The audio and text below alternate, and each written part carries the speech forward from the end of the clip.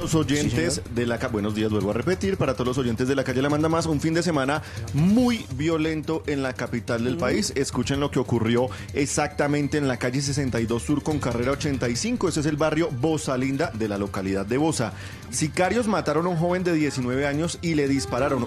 Gravemente herido está un niño de 7 años, apenas 7 años, en una clínica del sur de la ciudad. El homicidio de un joven de apenas 19 años se registró en plena vía pública. La víctima en ese momento estaba conduciendo un vehículo tipo Chana y estaba realizando servicio de transporte informal, informal los carritos blancos que ustedes ven por los barrios. En ese momento, de un momento a otro, valga la redundancia, este joven fue abordado por dos hombres en moto, quienes sin mediar palabra desenfundaron armas de fuego y le dispararon en varias oportunidades aunque este señor fue trasladado al CAMI de Bosa, lamentablemente por la gravedad de las heridas, falleció en el camino hacia el hospital y una persona más, un niño de 7 años, resultó gravemente herido. En este momento la víctima fue identificada como Juan Camilo Castro, de apenas 19 años, y el niño en este momento se está recuperando. Otro hecho sicarial se registró después de un partido de fútbol en el estadio de techo este sábado en la noche. El fallecido, la víctima, un hombre identificado como Edgar Páez, de 63 años, presidente del equipo de fútbol Tigres Fútbol Club, que fue atacado a tiros por dos sicarios que se movilizaban en moto por la carrera 50, exactamente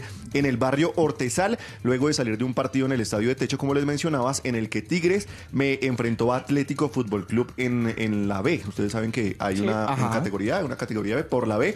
En total, este hombre recibió tres impactos de bala, uno en el cuello, uno en la cabeza y uno más en el tórax. Todo esto cuando se movilizaba en un Mazda rojo con su hija, quien fue la que lo llevó a la clínica Mederi, donde lamentablemente ya llegó sin signos vitales. Lo que nos cuentan las autoridades es que este hombre era ex detective del DAS y ex investigador de la fiscalía y tenía una condena de siete meses de cárcel por lesiones culposas. También se habla de presuntos nexos con el narcotráfico ya hace varios años. Sin embargo, esto aún es materia de investigación.